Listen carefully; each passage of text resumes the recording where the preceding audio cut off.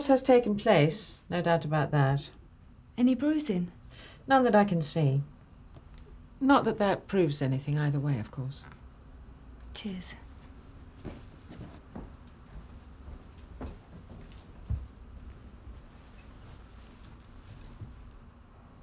What happens now? Well, we'll need a written record of everything you've told me so far. Again? Look, I'll tell you what. Why don't you take a shower and have a think about it? Yeah, okay. What's taking so long? I mean, she told you what he did to her, didn't she? Yes, Mr. Brogan, but we do need a written statement before we can proceed. At the same time, we don't want to cause Mary any further distress if we can help it. You know, when I think about what he did to her. I'm sure it's a distressing time for both of you. I, I can understand you're being upset. No, you can't. You don't know anything about me. You don't know anything about my daughter. I mean, she's just a child, for God's sake. John. All I can say is she's been well looked after by a specially trained officer. As soon as she's finished, I'll let you know. In the meantime, if there's anything I can get you, a tea or a coffee. Uh. We're all right.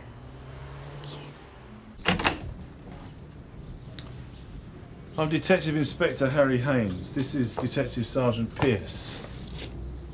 And you are Sandro Baldoni, yes? No, that's my brother. Can we come in?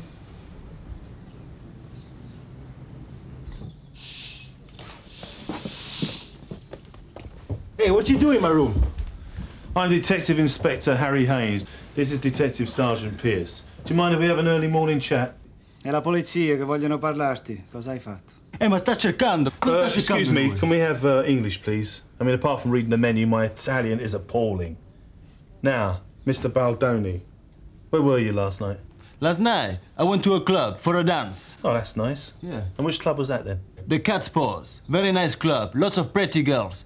Hey, what you looking for? Uh, and did you manage to bring one of those pretty girls back here with you last night? Hey, it's a free country, I think.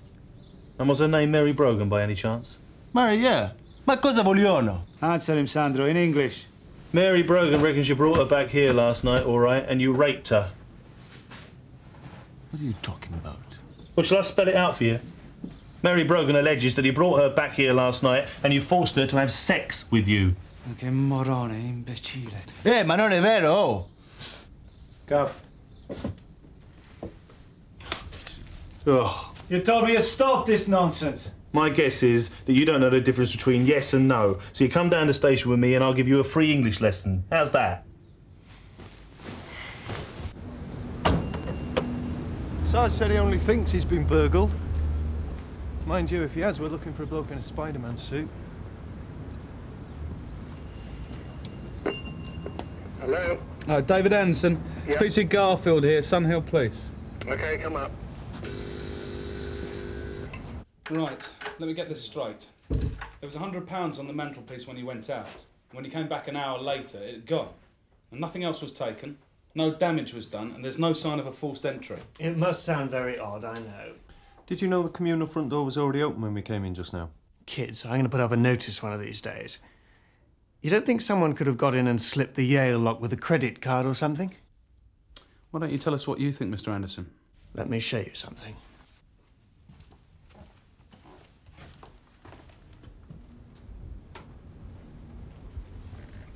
See that?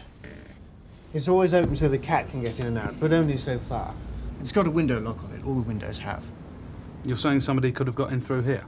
I suppose I am, really, yes. In broad daylight, over the balcony, in the hour that you were out? Well, no. Look. I don't want to cause them any problems or anything, but people next door. Woman on her own, two kids. You're saying it was the kids next door? A kid could get in through that gap. I've let them in that way myself when they've locked themselves out. You know how it is. Housing association flat. You can't pick your neighbours and all that.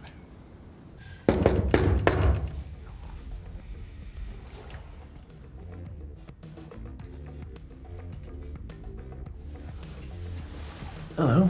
What's your name?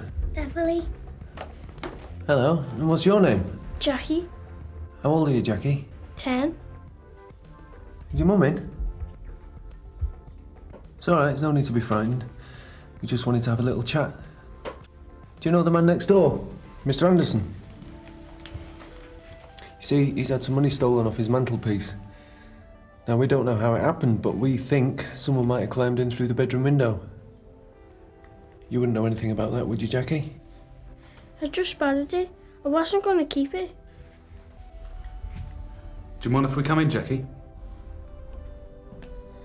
Watching telly?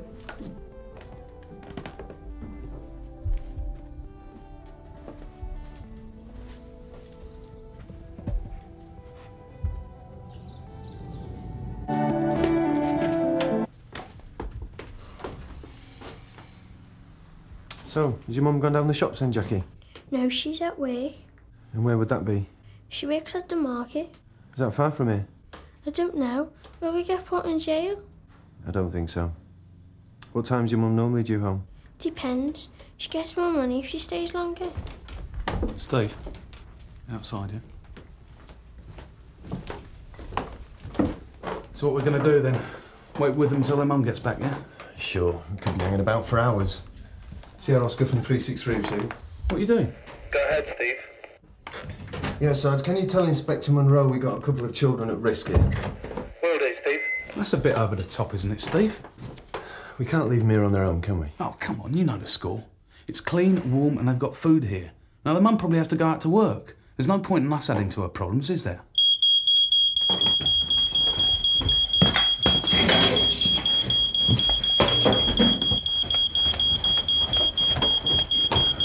Sorry, I forgot about the toast. Don't worry about it, love, but don't go now, okay?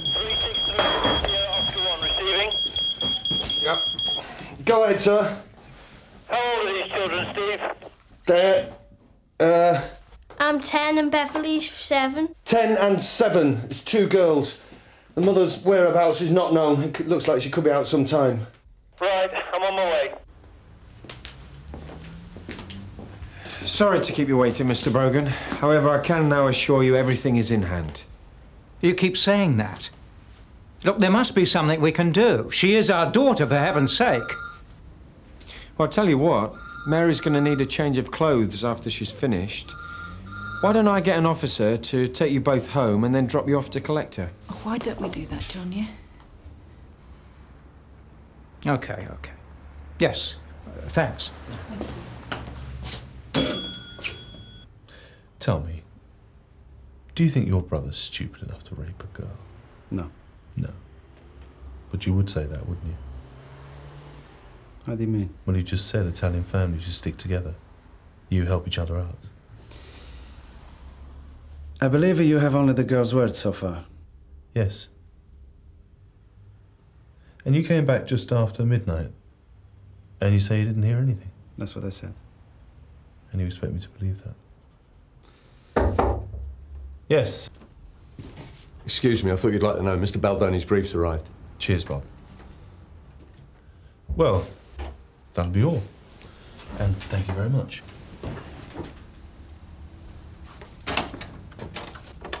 Listen, Mr. Haines, I know what you think. But let me tell you something.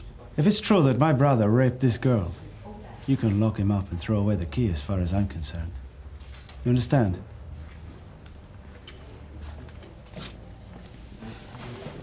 Give the man an Oscar. Oh, no! Oh.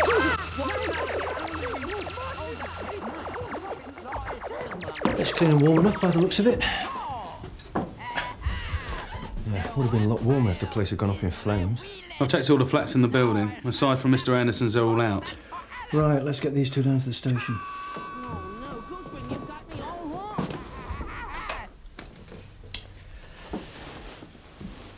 Right, Jackie, you're going to have to come with us. But I gave the money back. It's not just the money. You see, your mum's not meant to leave you on your own like this. We're going to have to have a word with her. But until then, it's best if you come down the station. Yeah. What time did you get back from the cat's paws?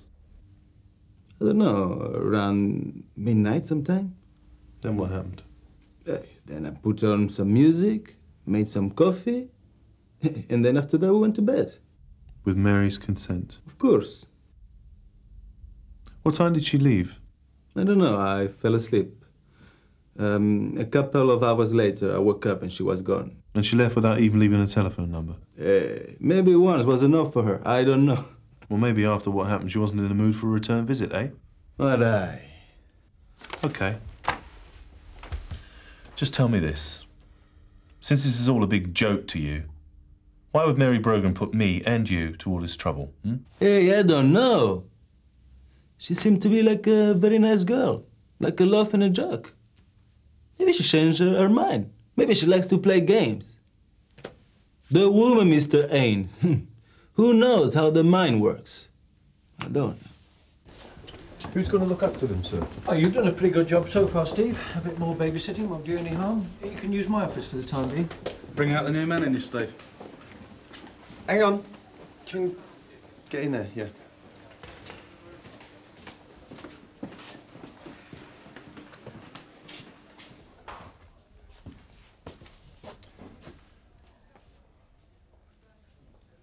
Johnson Crisps.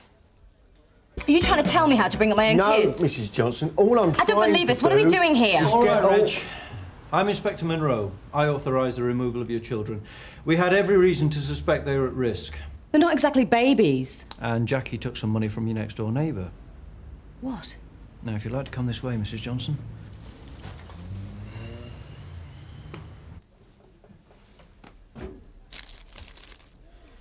So what were you going to do with the money anyway?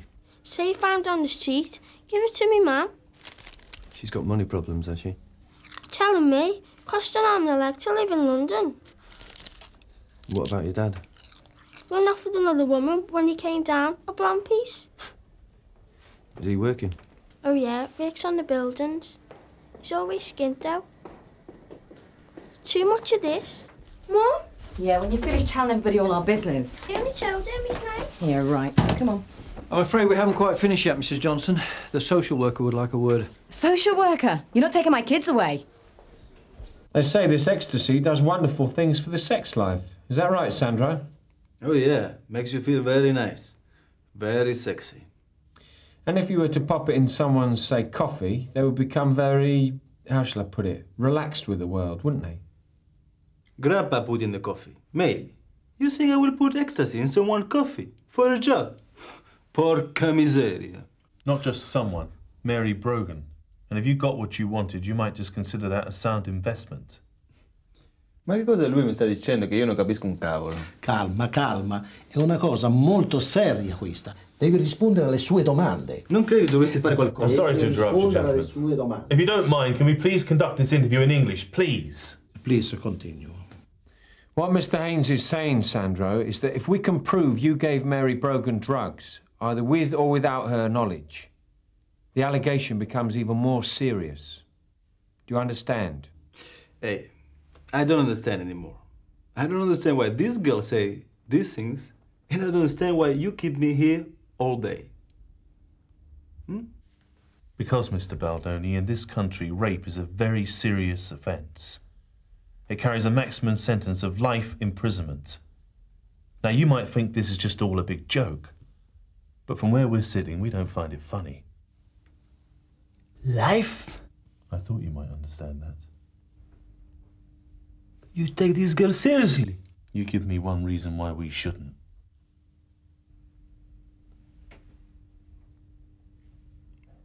I want to talk to him. Alone, please. Okay, if you think it'll do any good. His interview is suspended at 1320. I think your officers might have been a bit hasty, Andrew. I don't have the manpower to leave them sitting in the house waiting for Mrs. Johnson to come back from work. Hasn't she heard of child-minded facilities? Where she lives, they're all full. So where does that leave us? Well, I'm pretty sure I can find them somewhere in another borough.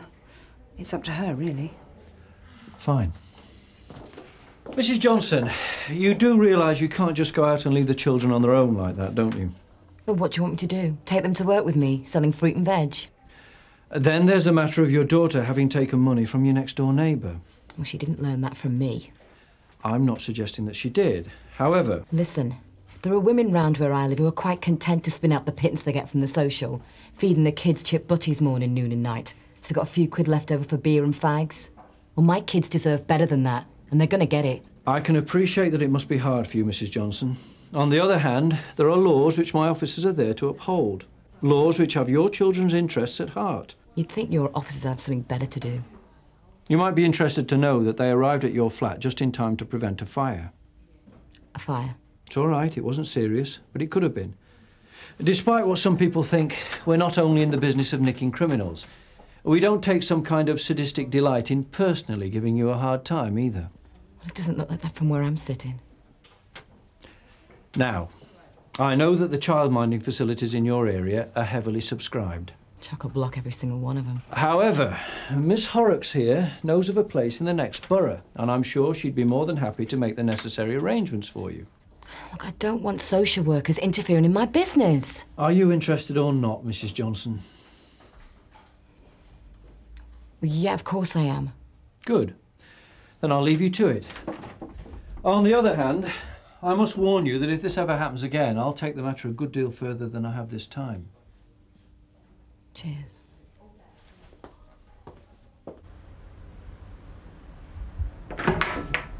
Mary? Uh, she's got something to tell you. Could we go somewhere private? You better come through here. Come on, sweetheart. What's this here about you nicking money from next door? Yeah, well, when we get back, you can apologise to Mr. Anderson for all the trouble you've caused. Do we have to? Well, do as you're told. Well, I don't like him. Anyway, you said he was a stuck up pig. Why did you do it? Was it to get back at him for something? No, it just got out of hand, that's all. What did? Right, let's go back to the beginning, from the time you arrived at the club. Well, come on, Mary. I went with my friend Liz. As soon as we got there, she bumped into her ex-boyfriend Gary. They started having a row. And I went off to the loo and left him to it. When I got back, they'd gone. That's when you met Sandro? Yeah. He asked me for a dance, and we had a couple of drinks. I know what they say about Italians, but it was nice. It made me laugh. Then he said, why didn't we go back to his place? And I said, okay. I had had a couple of drinks. This is all very well, but why did you say Sandro raped you? I fell asleep. It was 5.30 by the time I got home. My dad was waiting in the kitchen like he always does. I thought whatever I tell him this time, I'd better be good. Otherwise I was really in for it. How do you mean? Oh, he gets a bit carried away, you know, a quick clip round the ear, that sort of thing. Come on, Mum. He knocks her about. He's been doing it for years. God knows what he'd do to me if he really knew what I got up to. All the lies. I've had enough. Does your husband know you're here, Mrs. Brogan? He'd kill both of us if he knew. Ho detto tutta la verità, ma loro non sono convinti. Sei sicuro che hai detto tutta la verità? Certo. Ma non sono convinti, guarda, si vede in faccia proprio. What do you think those two are cooking up? Where's the fire, Polly? Sir, I've got Mary Brogan and her mother in DVU. Mary wants to withdraw her statement. Well, don't let her leave until I've had a word. She's very distressed, sir. Is she? So am I. Sei sicuro che non hai messo queste chilo nel caffè? Uh, no. Ed è venuta di sua Mr. Baldoni, you'll be pleased to hear that Mary Brogan has withdrawn her allegations against you. Just like that. Yes. You keep me here all this time? She changed her mind? And now everything is all right? Yeah, well, if you're not happy, you're free to make a complaint. Madai. Uh, of course, there is the question of the drugs we found in your room. You see, ecstasy is still a category A substance. I'm sorry, I really cannot hang around anymore. I am due the consult in 10 minutes. Sandro, if you need further assistance, give this man a call. He's a personal friend of mine. I am sure he will oblige. Mother. Mr. Haines. Then again, if we can prove that you've been drug dealing, you can still end up doing a long stretch. Really? In that case, io me ne frego. I had enough of this place, I had enough of you, and I had enough of this stupid country. Mm. Well, Bob, keep hold of him for a bit for me, will you? Yeah, of course. Has he ever hit you, Mary? I mean, really hit you? Yes. I had lied to him, hadn't I? Show me where he hit you.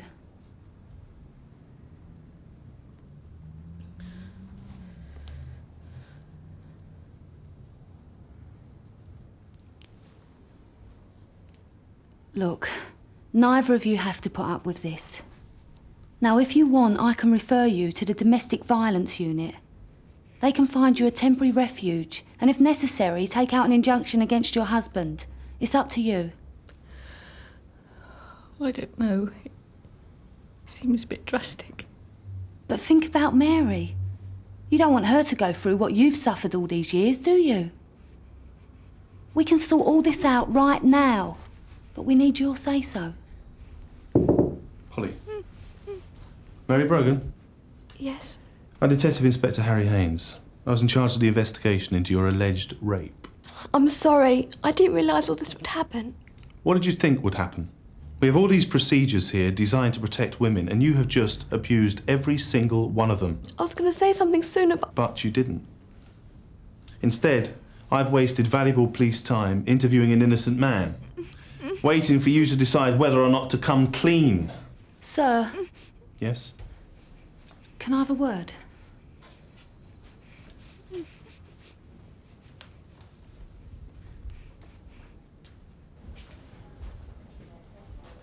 I think she's been through enough without us putting more pressure on her. The father's been knocking them both around by the sounds of it. I'm trying to sway them round to the DVU. Well, let me know how you go.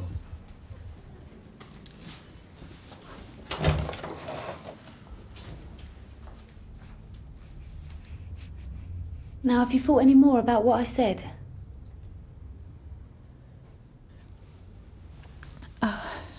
Yeah. Uh, we want to go through with it. That's very brotherly of you to gamble a thousand pounds on little Sandro's bail. He doesn't know he has to come back in a month, doesn't he? I'll make sure he does. How do you mean gamble? Well, he could disappear off the face of the earth. Stranger things have happened. Hey, sorry, is this some kind of English joke? What? Well, something like that. No, I was just wondering how far you go to help your brother out, that's all. I'll do everything I can, I told you that. Well, even if he decided to let you down to the tune of, say, thousand pounds? I see. You think my brother's going to run off? Is that it? Uh, well, I don't think there's uh, much chance of that happening, Mr. Haines. Well, you've more faith than I have. It's uh, not faith that I've got, Mr. Haines. It's this. See him in one month. There was the time when I was washing my hair and he came at me from behind and held my head under the water. And, well, I still don't know what I'm supposed to have done wrong. I think you've given us more than enough, Mrs. Brogan. You wouldn't think it to look at him, would you? Happy-go-lucky Johnny, our neighbours call him. Always got a smile. Aren't I lucky to have such a wonderful husband? They don't know the half of it.